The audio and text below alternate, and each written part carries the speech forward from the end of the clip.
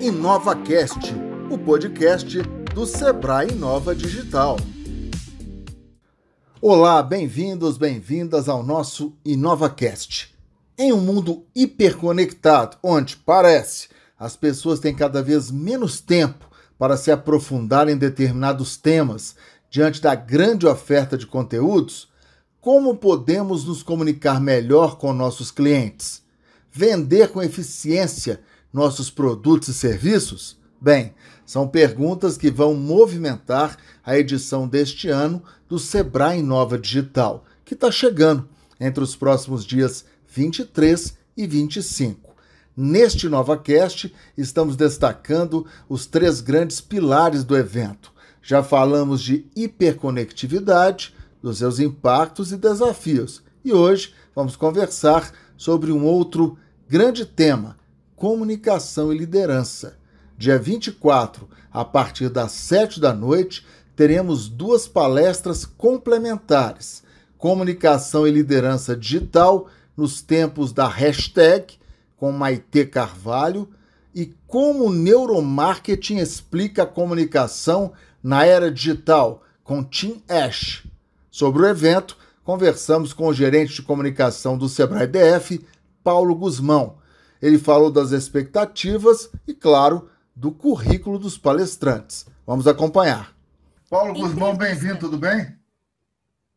Bem, obrigado, Estevão. Tudo bem? Agora melhor ainda falando com você, meu amigo. Pois é, e os temas desses nossos InovaCasts estão muito interessantes, né? Porque é, nós começamos abordando a hiperconectividade e hoje vamos falar de comunicação e liderança, né?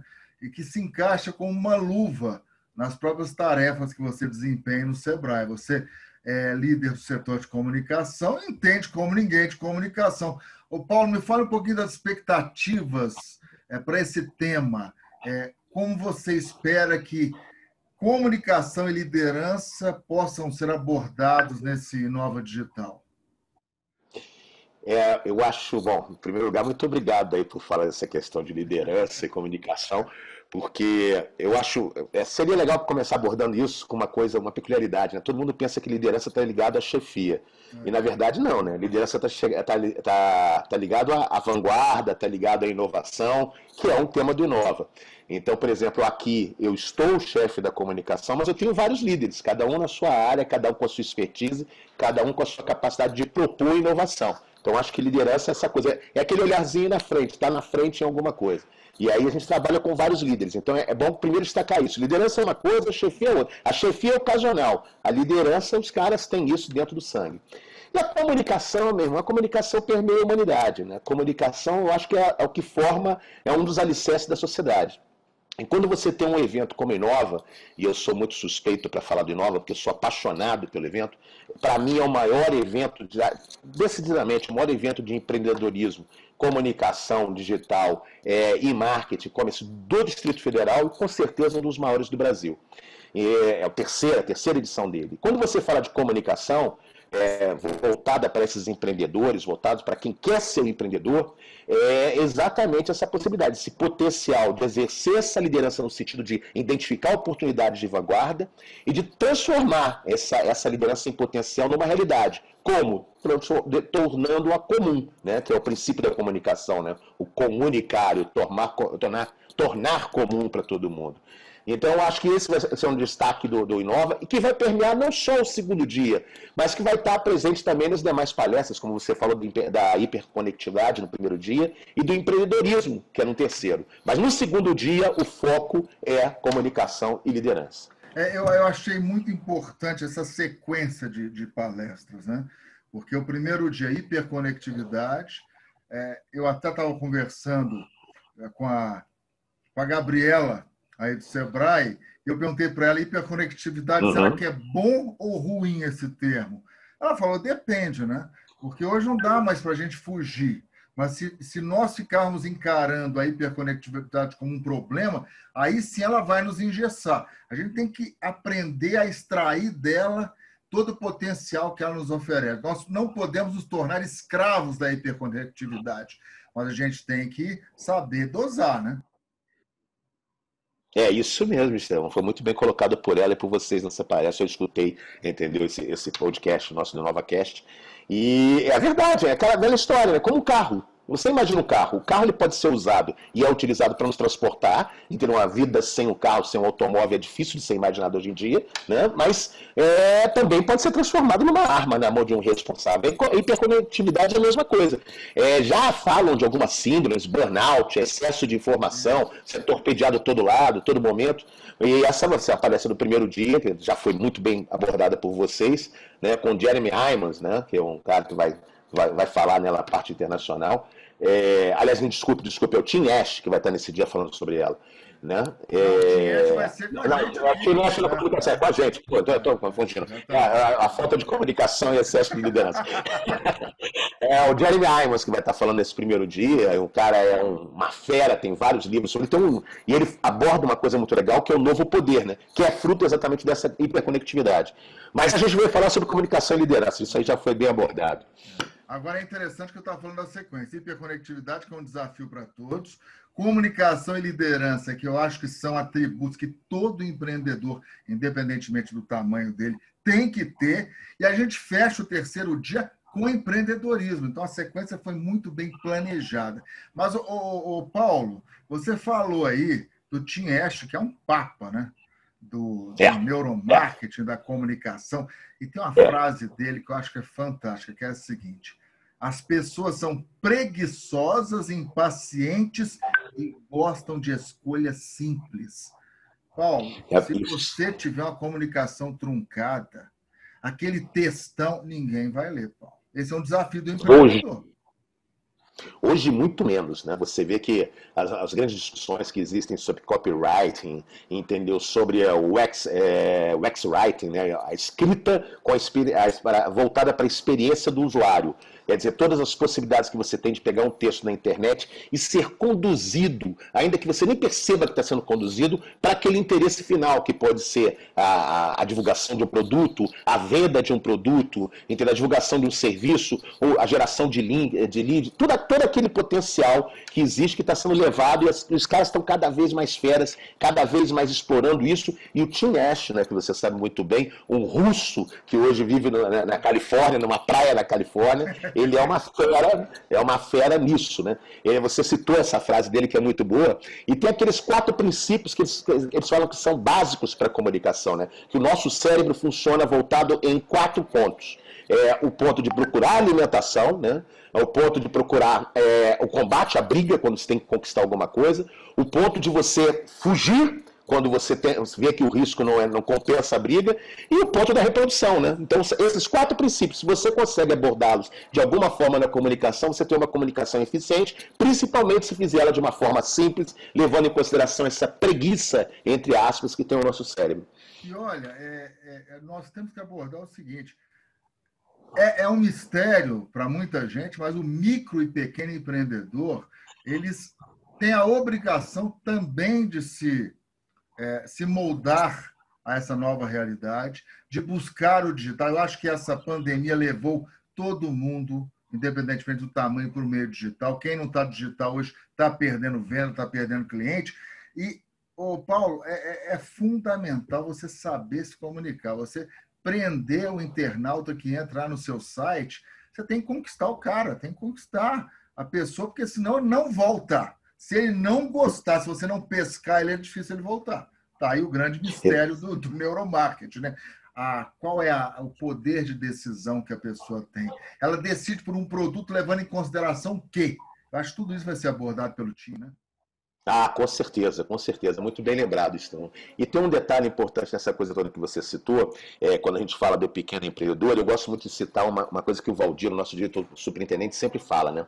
O empreendedor, o pequeno empreendedor, ele é um cara naturalmente criativo. É um cara que se vira nos 30, porque ele não tem aquela capacidade de montar uma empresa onde ele vai ter um expert disso, um expert daquilo, etc, etc. Não, ele tem que ser um expert em quase tudo. Inclusive na comunicação, inclusive na possibilidade, na capacidade de vender vender seus produtos de uma maneira mais apropriada. Esse Tim Nash é um cara muito fera. Eu, eu gosto muito da, da, da, da, da carreira que ele tomou, porque ele é um cientista que se especializou em ciência de computação né? Não era um cara que era uma fera em, em comunicação a priori, né? Ele é um PhD em ciência de comunicação, fez mestrado em engenharia da computação. Era um cara técnico que vivia naquele universo dos números, dos algoritmos, etc. E de repente o cara começa a trabalhar isso e ele se torna um dos maiores especialistas, se não o maior especialista no mundo, naquela chamada taxa de, de é, optimizada de conversão. Eu estou muito empolgado com o que esse cara vai passar para a gente nessa coisa chamada CRU, né, que é Conversation Rate Optimization, a, a taxa de otimização da conversão. É, ele é um cara que já teve mais de 150 clientes onde ele aplicou essa estratégia e clientes como, veja bem, Facebook, Google e outros, entendeu? Então eu acho que é uma... Microclientes, microclientes. É, microclientes, microclientes.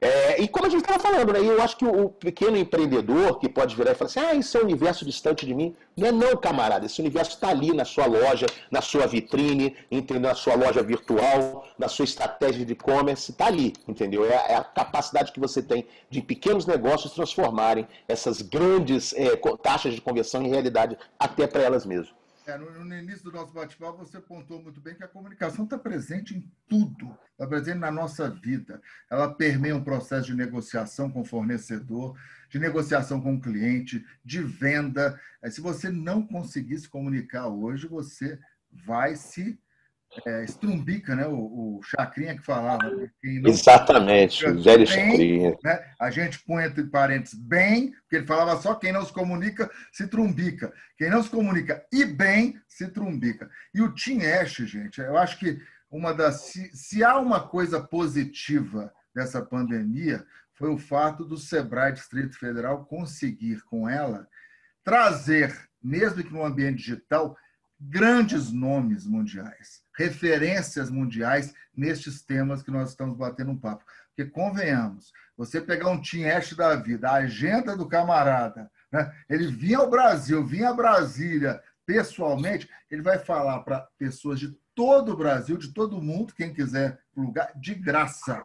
No final, de graça. Com Paulo Guzmão, eu vou reforçar o convite e o endereço para você se inscrever. Eu já me inscrevi, o Paulo com certeza também. Eu não vou perder uma palestra como essa. Mas, Paulo, antes da gente encerrar, tem também uma primeira palestra, ambas são complementares. A Maite Carvalho, né, que é a palestrante nacional, ela vai abordar comunicação e liderança digital nos tempos da hashtag.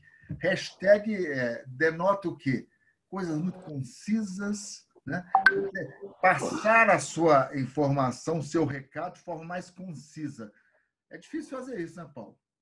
Muito difícil fazer isso. Esse é um desafio que a gente que trabalha com comunicação já há algum tempo sabe, né? Você no meio rádio, a gente, eu mais com a, com a imprensa escrita, a gente sabe como a precisão e a concisão são absolutamente é, é, necessárias. Já dizia o grande escritor, né? É, escrever, cortar palavras. Então, é, a Maitê é a palestrante que abre é, esse nosso dia, né? No, no, no segundo dia do, do Inova Digital ela é, ela é uma empresária publicitária e ela tem também, ela também aborda essa questão da persuasão. Então vai ser um dia em que a gente quer, a gente está querendo agora persuadir as pessoas a participarem, cientes de que elas vão sair do evento capazes de persuadirem a terceiros, quartos, quintos e outras pessoas que trabalham com elas ou os clientes que trabalham com elas. E você pode assistir qualquer lugar, né? Do seu escritório. De qualquer lugar. De qualquer lugar. Ou você foi. gelada, sete da noite, depois. Isso, bom horário, depois do expediente. Estevão, foi bom você falar isso, porque é sempre bom frisar, né? Esse é o terceiro ano do Sebrae Nova, né?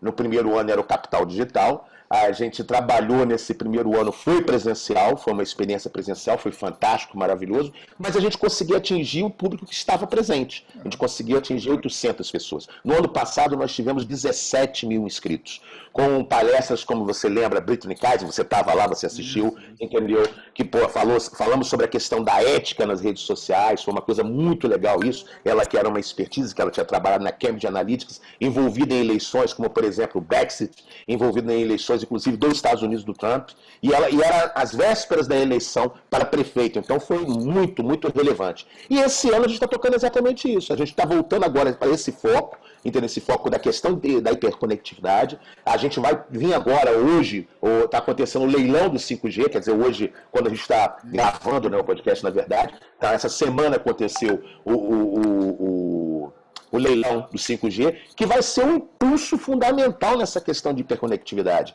e que vai levar cada vez mais você a ter mais informação a todo momento, no óculos, andando na rua, recebendo mensagem por, por, por é, iPhone, e todas as coisas, todos os mecanismos, e você precisa ter essa mensagem concisa, para que você saiba isso aqui me interessa e como eu vou adquirir esse produto, de que forma esse serviço vai ser fundamental para mim. Essa é a ideia das discussões que são promovidas pelo Sebrae e Nova Digital este ano. Você que está nos ouvindo ou nos vendo no YouTube, você não vai perder, né? Então, Paulão, para a gente encerrar, reafirme o convite aí para o pessoal.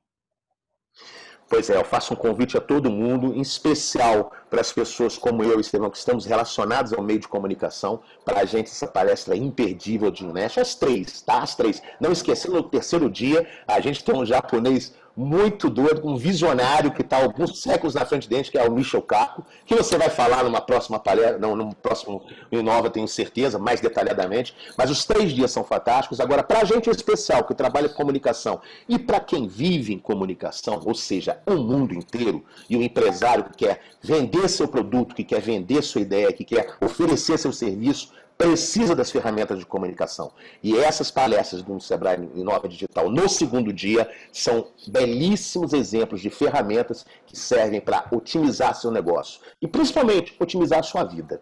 Então é imperdível, Sebrae Nova Digital, o segundo dia, os três dias, mas o segundo dia eu estou puxando a, a farinha para o nosso saco, entendeu? O segundo dia ele tem um, um quesinho especial para gente. Obrigado, Paulo, muito obrigado mesmo e está aberta a porta aqui não só do InovaCast, como do Papo Sebrae. Será sempre muito bem-vindo. Parabéns pelo trabalho, sucesso. E eu que agradeço a você a oportunidade de conversar contigo e conversar com os nossos ouvintes sobre esse grande evento que é o Sebrae Nova Digital. Um abração, Estevão. As inscrições gratuitas podem ser feitas pelo, anote aí, www.sebraenovadigital.com.br Agora vamos para nossas dicas com a Cris Nione, assessora de imprensa do Sebrae DF. Hoje, com os caminhos para você aproveitar as técnicas do neuromarketing para aumentar suas vendas. Dicas Sebrae. Oi, Cris, tudo bem? Bem-vinda. Olá, Estevão, tudo bem? E no espírito do Sebrae Nova Digital, hoje nós vamos abordar o neuromarketing Melhor, dicas de neuromarketing para aumentar as vendas do empreendedor. Por quê, Cris? Porque o consumidor, ele compra, ele decide na hora de comprar. Né? Então, o neuromarketing, a neurolinguagem, são ferramentas, são ciências que ajudam a você, empreendedor, a descobrir por que o consumidor opta por um serviço, um produto e não por outro? Porque alguns anúncios, seja na TV, no rádio, mas principalmente nas redes sociais, atraem mais do que outros tipos de publicidade? Assim como eu frisei no início, o neuromarketing responde essas questões, pois é o campo de estudo que une marketing e neurociência, Cris. É isso aí, Estevão. O neuromarketing ele vai exatamente compreender o que, que vai motivar esse processo de compra, né? Baseado nas emoções, nos sentidos e no instinto do consumidor, que vai gerar esse impulso de compra, né? Então, é por isso que é muito importante.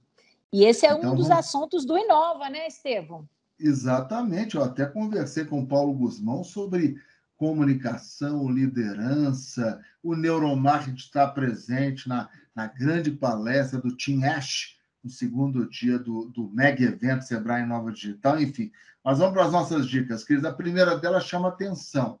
Analise sua linguagem corporal e a do cliente. O corpo fala muito, Cris?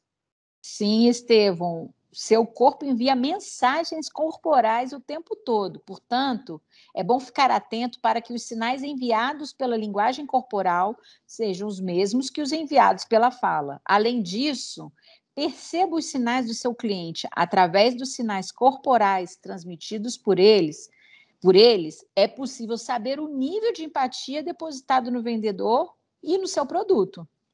É, as expressões faciais, então, elas demonstram muito, né? Então tem que ficar atento a isso sim. Dica número dois: dê preferência a imagens. É isso, Estevam. Já foi provado que as pessoas processam imagens de forma mais rápida do que palavras. Portanto, evidencie o uso de imagens, pois elas potencializam a mensagem que se deseja passar e causam um efeito ainda maior no consumidor. Isso, Isso vale, vale, muito, muito para as redes, né? Para as redes sociais, né? Exatamente. Exatamente. As postagens, principalmente. Dica número 3: fique atento para preferências e necessidade do cliente. Então, Estevam, os clientes procuram produtos que ofereçam uma maior eficácia para eles. Portanto, evidenciar os atributos do produto não é uma estratégia eficiente. Dar o enfoque ao que esse produto pode fazer pelo cliente é que essa é a estratégia mais indicada. É, porque o cliente está tá, tá comprando, está procurando aquele produto? Para satisfazer algum desejo ou uma necessidade dele. Você tem que se antecipar e já oferecer de bandeja para o cliente, não é mesmo, Cris? É isso, tem que ser direto. Direto. Dica número 4, penúltima dica: ofereça um ambiente voltado para cada tipo de público-alvo. Isso, as pessoas precisam se identificar com o produto e com o ambiente em que ele está inserido. Por isso, tome esse cuidado e ofereça um ambiente em que seu público se identifique. E da mesma forma, isso vale tanto para uma loja física como para as redes sociais, né, Estevam? É um ambiente agradável que vai ao encontro dos anseios. A pessoa tem que se sentir bem, tanto presencial como virtualmente. E a última dica: recorrer à emoção. Quando eu vou comprar, será que o que, que pesa mais, o, o Cris? Razão ou emoção, hein? Ah, pois é, Estevam. Optar por recorrer ao emocional do cliente é a forma mais eficaz de fazer com que ele se sinta empatia pelo seu produto, pela sua marca. Mas é bom ter cuidado para não tornar essa abordagem muito apelativa, né? Tem que saber a medida certa. Bom senso, bom senso. Cris, obrigado pelas dicas muito diretas, muito práticas e com certeza vão ajudar demais ao nosso ouvinte, ao nosso espectador que nos acompanha também pelo YouTube. Até a semana que vem, Cris. Até, Estevam. Na nossa agenda, como sempre, os destaques da Amanda Oliveira. Agenda Sebrae. Oi, Estevão. Olá, pessoal. Programe-se com as capacitações que o Sebrae DF preparou para você. Anote aí. No dia 9 de novembro, das 9 às 18 horas, teremos a oficina Sebrae Descomplica Serviços MEI. Para você que é microempreendedor individual e deseja ter total autonomia do seu negócio. Você aprenderá a emitir boletos de pagamento, fazer anual declara fazer a declaração anual de faturamento, parcelar os débitos do MEI e muito mais. Acesse lojasebraedf.com.br, inscreva-se e aproveite! E a partir do dia 9 de novembro, teremos o ciclo de encontros Brasil Mais com grandes especialistas para debater temas importantes para os pequenos negócios que buscam se tornar mais competitivos no mercado. Rick Chester, Christian Barbosa e João Kepler são alguns dos convidados para esse super bate-papo que será realizado em cinco encontros. Não perca essa oportunidade. Acesse agora a loja Sebrae e garanta sua vaga. E se você deseja ser mais competitivo no mercado, não quer perder tempo e energia em ações que não vão levar sua empresa para o sucesso, mas quer aprender e apreciar a valorizar uma boa ideia, participe da palestra Inovação para Melhorar as Vendas, que será no dia 10 de novembro, das 15 às 17 horas. Acesse lojasebraedf.com.br e garanta sua participação. E atenção, você que é empresário!